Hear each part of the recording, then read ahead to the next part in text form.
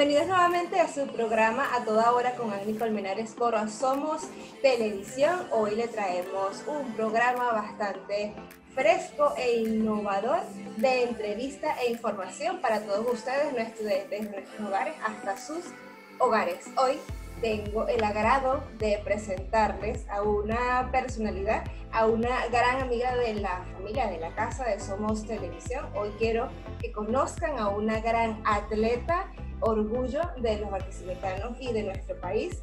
Hoy tengo como invitada a Catherine Vanessa Clema. Así que hoy yo les quiero dar primero una introducción para que ustedes conozcan de quién vamos a hablar y a quién vamos a conocer hoy. Ella es atleta, atleta olímpico 2014 eh, con participación en los Juegos Olímpicos Juveniles. En Nanjing es atleta activa de la Selección Nacional de Triatlón. Tiene el decimocuarto lugar en la Copa Panamericana en La Habana, Cuba, en 2020. El séptimo lugar en la Copa Panamericana de Triatlón en Colombia 2019. Cuarto lugar en el Campeonato Panamericano de Acuatlón Colombia 2019 y el séptimo lugar en el Campeonato Panamericano de Triatlón en México 2015. Con este preámbulo, quiero darle la bienvenida a Catherine Clema. Bienvenida, Catherine. Gracias, muchas gracias. Catherine. Un honor estar aquí. Ah, el honor es para nosotros. Catherine, a tu corta edad, cuéntanos cómo te iniciaste en el mundo del deporte. Bueno, nosotros nos iniciamos, nosotros somos tres hermanos. Eh, mi papá es de la playa y nuestras vamos allá. Entonces yo tengo mi hermana del medio, sabía nadar muy bien. En realidad ninguna sabía nadar, pero la del medio era muy arcada. Y bueno, ella se metía y mi mamá se asustó. Y cuando ella dijo, cuando yo pudiera salir con las tres, lo era meternos a nadar. Y bueno, desde los cuatro años años que empecé yo a nadar, ahí me quedé hasta todavía. O sea, dices que la, eh, el primer deporte o, o, en la primera actividad que te iniciaste fue en natación, ¿cierto? Natación, ajá. Y te iniciaste entonces, se iniciaron las tres. Tus, tus dos hermanas y tú. Las tres. Ajá. Y cuéntanos, eh, ¿qué te llamó la atención? ¿Qué fue lo que más te llamó la atención de ese deporte? Y no, por ejemplo, ballet, que es lo que practican las niñas acá en, nuestro país. Es que estuve en ballet, estuve, toqué música, o sea, toco piano, toco todo un poco. Mi mamá me, me metió en todo. Pero, no sé, el amor al agua, amor No, y que tuve eh, playa, yo adoro nadar en la playa, eso para mí es espectacular. Y me quedé ahí, me quedé nadando, me quedé así. El triatlón empezó fue por, por televisión y conoció a la entrenadora donde yo nadaba. Y ella nos empezó dando clases a mis hermanas primero, porque correr. Y yo no quiero correr, yo no quiero correr, yo no quiero correr. Y empezó a Y al tiempo, como a lo, ellas empezaron un lunes, yo empecé como la semana siguiente. Porque como, entonces cuando yo me quedaba sola, era como que, gusta estar sola y pues me fui con ellas. Y ahí empezamos todas juntas. Catherine, ¿Cómo, hace un, atleta de alto rendimiento como tú para combinar eh, los estudios con el deporte?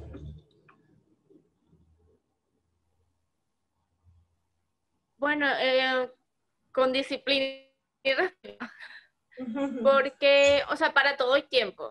Para hay tiempo, tú tienes tiempo de entrenar, tiempo de descansar y tiempo. Es que aprender a, organizarte. O sea, eso es una de las que, que tú aprendes haciendo deporte, pues tienes no es que organizar, si no es como todo un desastre. Tú te organizas.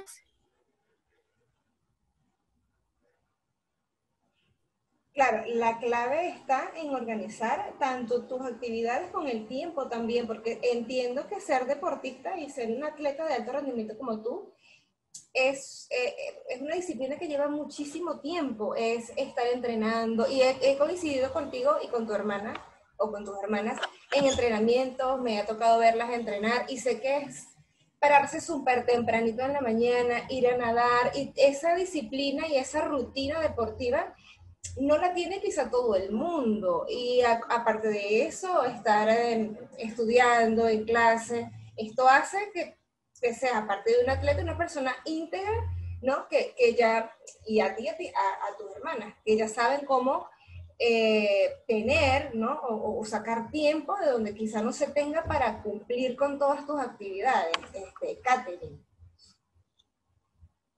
Bueno, el apoyo como tal, o sea, lo tuve de mis padres. Gracias a ellos, yo me paraba temprano, hacía mis responsabilidades, o sea, ellos para mí siempre estuvieron, siempre han estado. Con todo, con las clases más que todo. O sea, mi mamá me ayudaba a hacer las tareas, me las explicaba, me leía. Y no solo conmigo, o sea, con mis hermanas también y cuando, y viceversa. Si ellas necesitaban algo que yo las ayudaba, eh, yo estaba ahí. Y en lo que entrenamiento, bueno, cuando ningún, había una que siempre nos costaba pararnos, que era la del medio, Carely era la que más nos costaba parar y empezamos, Karel y parte, Karel y entonces ya como que, bueno, separados y entre todas siempre había como que, si yo, si yo me paraba temprano, yo hacía la comida mientras las otras dos se acomodaban. Entonces como que nos íbamos turnando. Y ahorita es más de grande. De niña mi mamá hacía todo. Mi mamá se paraba, hacía la comida. Con nosotros nos paramos, solamente comíamos y nos íbamos a entrenar. Catherine, me, me encanta la, la, la, historia que nos estás contando porque es algo como muy familiar. Dentro de ustedes tres también están involucrados tus padres y siempre los hemos visto con ustedes en todas las carreras. El que corre con ustedes, va, viene, los lleva, los trae. Es, es, es, un, es un, núcleo eh, familiar al que eh, es de admirar muchísimo porque siempre están apoyándolos a ustedes en cualquier momento. De hecho, te, quería preguntar qué tal había sido o, cómo habías vivido, ¿no? La experiencia de ser becada y estudiar en Puerto Rico. Bueno, esa experiencia fue dura, porque yo no, o sea, yo no estaba acostumbrada a estar sola. Eh, para mí estar sola era significaba no, o sea, no tener una, ese apoyo de mis padres, de mis hermanas, eso a mí me pegó mucho. Era muy buena estudiante, pero deportivamente no, no rendí como me, o sea, como me hubiese gustado. Pero esa experiencia me, enseñó a conocerme, a aprender de que, de que las cosas tienen que, que empezar a ser de uno. Porque estaba acostumbrada a que si ellos no estaban, no lo hacía o si él no, si ellos no iban, yo tampoco. Entonces ahí, en esa experiencia aprendí de que ya de que tenía que empezar a ser más independiente, de que ya no era una niña que me tenían que ir llevando como una agarrada de las manos, sino que ya tenía que empezar a soltarme y tener esa responsabilidad. Claro, yo también lo veo como una superación, o sea, a nivel personal y como atleta ya te tocó como que, bueno, como quien dice, con tú misma siendo la dueña de tu tiempo, de tus responsabilidades y con la rienda, bueno, vamos, vamos, a, vamos a echarle para adelante y yo misma soy responsable de que si me despierto o no, de que tú misma aprendiste a independizarte en cierta forma, ¿no? Sí, sí, o sea, yo era, en lo que era cuestiones de clase, o sea, yo era muy responsable, igual en los entrenamientos, yo siempre fui muy responsable a la hora que me decían esta hora es lo que vas a hacer y esto lo hacía. Pero a veces, o sea, yo siento que, que no era como por decir mi momento. También aprendí, eso también lo aprendí, que, que Dios siempre nos tiene preparado algunas cosas y todos tenemos momentos. O sea, mi momento no era de estar allá y pues me devolví. Pero de eso aprendí, pues aprendí de que de que tengo que ser responsable con mis cosas y que ya no, y que ya no era una niña. Aunque yo me fui siendo prácticamente una niña. todavía no me había despegado mucho. ¿Cuánto tiempo duraste allá? Eh, casi tres años. pero fue muchísimo. O sea, para, para como me lo estás contando, que de todo lo que aprendiste, me parece que, que pasaste bastante tiempo fuera de tu casa, fuera del país. Sí, pero es que, o sea, tú las cosas tú las vas aprendiendo como las vas viviendo. Y, o sea, esos tres años prácticamente se me pasaron rápido. O sea, yo no, cada vez que veía, o sea, en un momentico ya salía de las clases, salía de los entrenamientos y otra vez, o sea, yo venía en vacaciones, mi papá me compraba el pasaje para yo verlo seguramente en, en la fecha de su cumpleaños y los diciembres. O sea, mi papá cumple en mayo, yo me venía en, en mayo hasta agosto, en agosto me iba otra vez y en diciembre venía. Entonces a mí prácticamente se me hacía rápido, pero claro, eso tú no, o sea, eso yo no lo vi apenas llegar de, o sea, de volverme, no, eso fue después como un tiempo que, que todavía estaba como en stand-by, no sabía qué hacer, porque, claro, cuando me vine fue como, como un dolor de no haber terminado, pues. Y en ese tiempo fue que como que no, ya, ya tienes que reaccionar, ya estás aquí otra vez, vuelve con tus clases, o sea, yo llegar de una, eh, a los dos meses, había inscripciones en la, en la UTAE, me inscribí, hablé con mi entrenador, él me dice, bueno, vamos a empezar, pues. Si ya estás aquí, hay que empezar, si quieres, vamos a darle. Y bueno, el apoyo lo tuve y ahí estuvo. Qué excelente. Eh, mira, y, y hablando de que, de, que tuviste la experiencia fuera y, regresaste, ¿no? ¿Cómo, cómo, cómo puedes contarnos un, poco la experiencia o, o combinar o, o, darnos como la diferencia de ser un atleta de alto rendimiento internacional a lo que es aquí Catherine?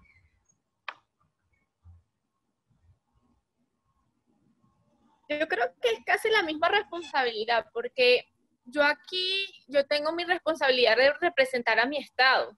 Y claro, yo lo hago con, o sea, con mucho orgullo. Tú tienes que dar lo mejor que tienes a, lo que tienes. E igual cuando voy por fuera, o sea, ya no, ya no representas a Catherine Clema solamente, sino que representas a un país. Entonces ya te caen responsabilidades que tienes que cumplir.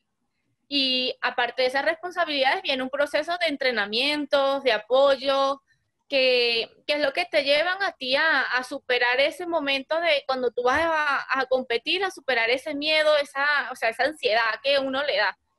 Y uno llega al punto como que no, estoy aquí parada, ya tengo, ya me preparé, ya logré mis sueños, vamos a darle con lo que, o sea, con lo que yo tengo, con lo que me esforcé, vamos a ver qué pasa.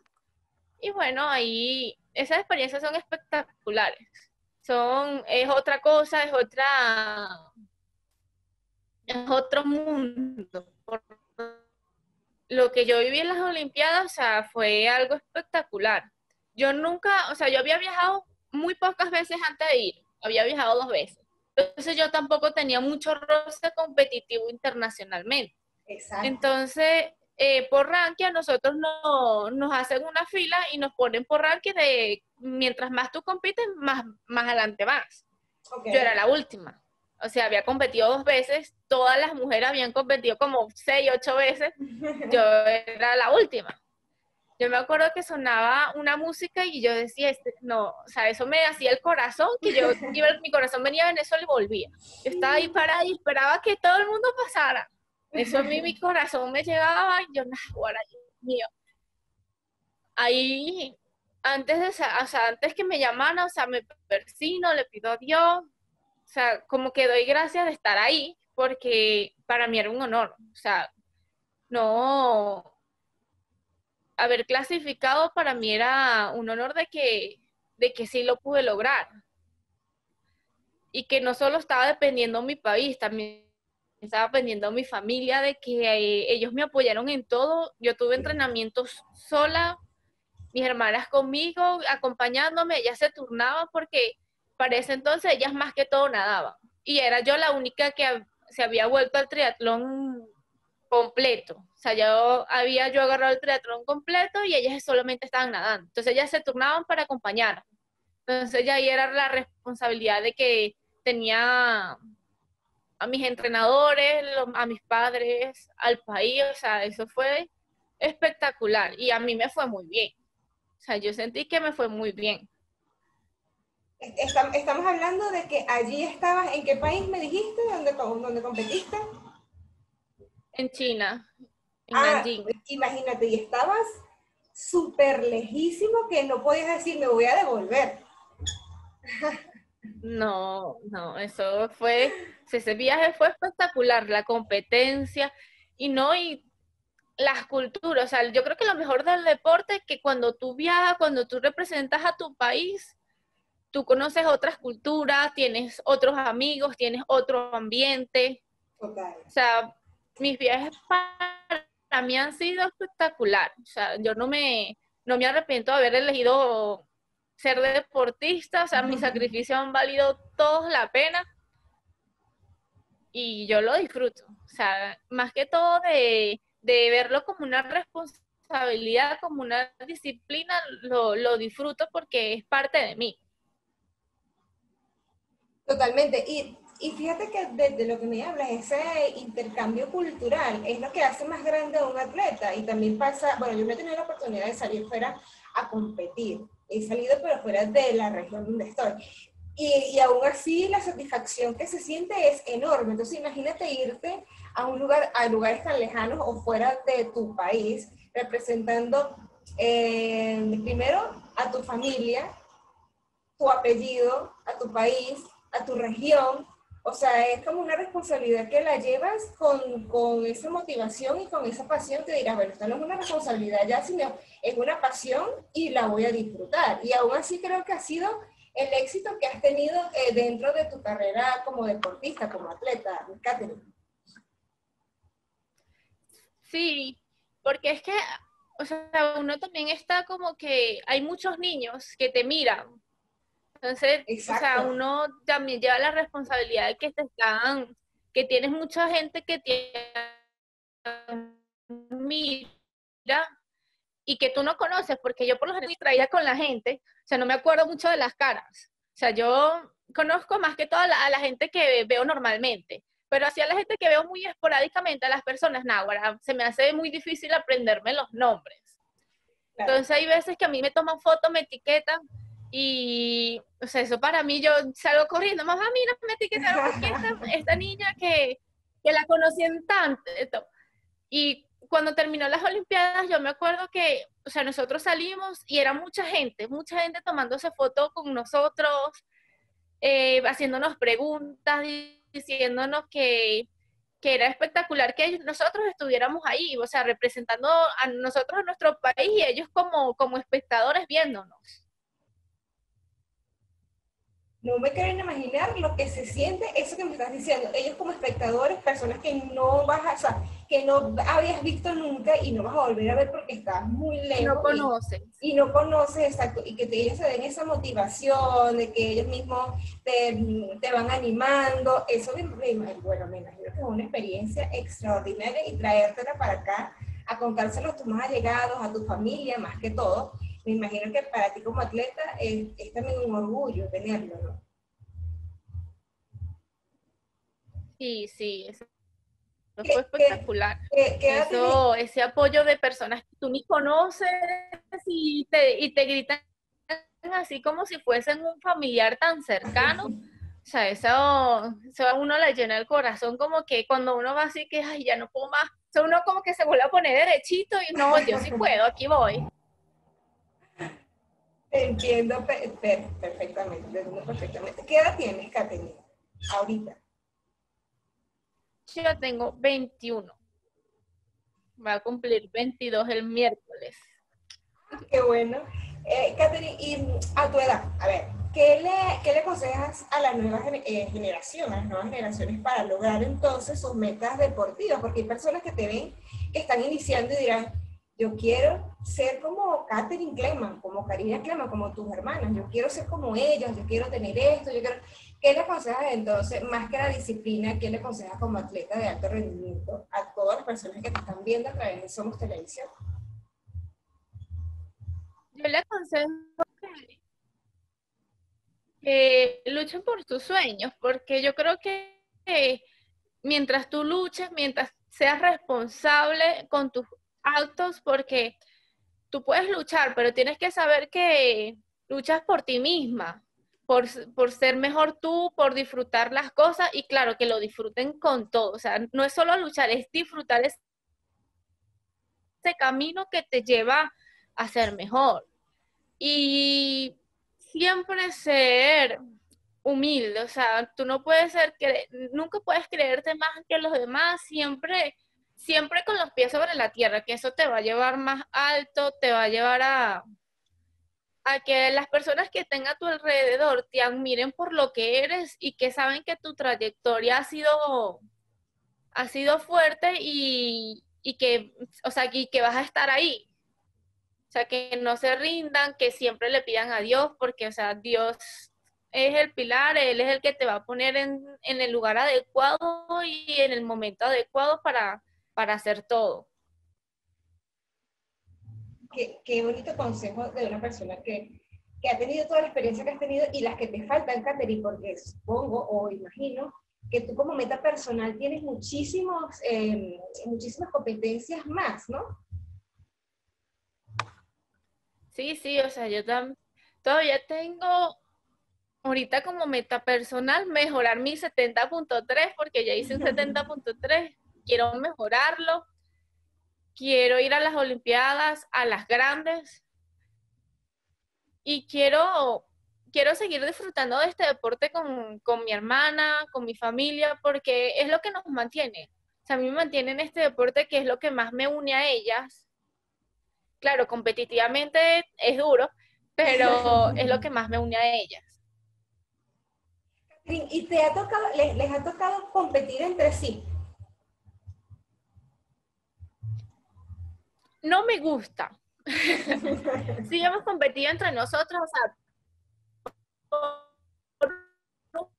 pues, sí me ha tocado, pero gracias a Dios ha habido expectativas distintas que o ella ya tenía otra cosa eh, que hacer y pues ella trabaja para que yo o consiga ese cupo o viceversa. Ya yo tengo un, cupo ganado y trabajo para que ella lo gane. Me ah. pasó en, eh, para el clasificatorio de las Olimpiadas, había una competencia, un clasificatorio para el Mundial de Aguas Abiertas y yo también tenía el cupo, igual que mi hermana del medio, pero ya yo había entrado a las Olimpiadas. Entonces yo hice lo posible para que ella se ganara ese cupo, o sea, hice todo que para que ella entrara. Y pues ella llegó. o sea, no hay más satisfacción que que ver a tu hermana, porque no, o sea, no es solo tú cuando tú ganas, sino ver a la persona que quieres triunfar y que sea mejor que tú, porque por lo menos yo soy la mayor y a mí me encanta, o sea, que ver a mis hermanas crecer y, y que sean mejor que yo, porque, o sea, yo siempre he buscado que ellas sean mejor, no solo ellas mismas, sino que, que ellas también disfruten de lo que yo viví, o sea, de lo que yo experimenté.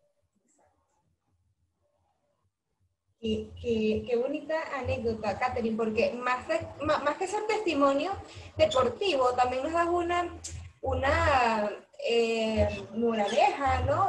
Muy, muy familiar y muy de unión. Sé que el deporte es, es eso, más, aparte de ser competencia, también une em, a grupos, eh, a equipos. Y, el, y el, em, el, deporte que tú practicas es muy solitario porque es, es una competición con otros, ¿no?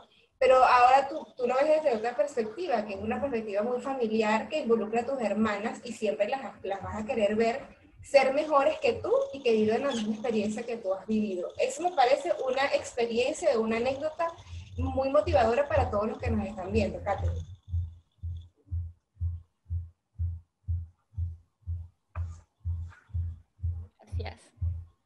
Catherine, eh, eh, aparte del deporte, a ver, ¿tienes otro hobby que no sea el deporte?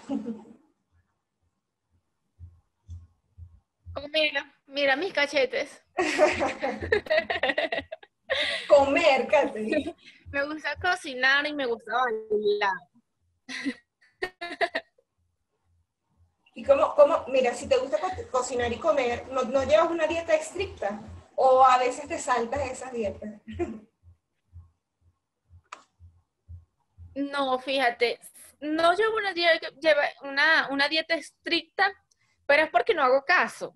O sea, no, en ese, en ese, o sea, soy un, ese, se puede decir que es una de mis debilidades, porque yo, a, ver, soy muy, soy muy, muy responsable en ese sentido. Claro, cuando me toca, me toca, o sea, tengo una preparación, un entrenamiento, me cuido, un, yo voy a dañar mi preparación o mi, claro. o mi momento antes de competir. O sea, yo si, si rebajé lo que necesitaba rebajar, estar en el punto que necesitaba rebajar, o sea, o estar, yo llego, hago lo posible por mi mejor forma a la hora de competir. Claro, cuando salgo de eso, soy, o sea, y mi, yo tengo, como decir, un problema de, o sea, de que subo y bajo de peso muy rápido, en un momentico. Entonces, más que todo subo. Me cuesta mucho bajar. Más que todo subir. Eso un momentico yo me descuido y subo mucho. Y mi hermana menor cocina muy rico. o sea, eso y, y también cocina, por decir, es dulcera en cocina de que le gusta hacer torta, le gusta hacer galletas, le gusta hacer panes. Y no, pues conmigo me va a poner redonda. es una batalla contigo misma y con ellas. no, ahora sí. No, y ella, ella se cuida, ella es más responsable a la hora de cuidarse. Tú la ves cuando, cuando empieza más, empieza a dejar de comer, pero a mí, me, a mí esa parte a mí sí me cuesta. Bueno, pero nada es imposible, así como eres disciplinada para el deporte, también vas a ser disciplinada para tus dietas cuando te toque competir. Sí, cuando, cuando es el momento, o tú tienes, ya ahí como que cambia, no, ya listo, ya se paseó las vacaciones, ya pasó lo que, lo dulcera. Claro, sí me doy un gusto porque que le, que le diga a mi papá, la vida es una sola, no me voy a poner ahí mientras no, importa, pero me. Mi Instagram es Catherine B pequeña punto 98 y mi Facebook es Catherine Vanessa Clemón Materán, mi nombre completo. Buenísimo, Catherine, de verdad, súper complacida de haberte conocido muchísimo más eh, como persona y a tus hermanos y a tu familia. Espero poder tenerte acá en este espacio que está a la orden para ti, en arroba a Colmenares y arroba eh, a toda hora por Somos Televisión. Espero tenerte nuevamente acá como invitada, ya mostrándonos tus logros y tus metas deportivas. Catherine, muchísimas gracias. Gracias a ti. De esta manera despedimos el programa del día de hoy. Espero nuevamente poderlos acompañarlos en un próximo programa.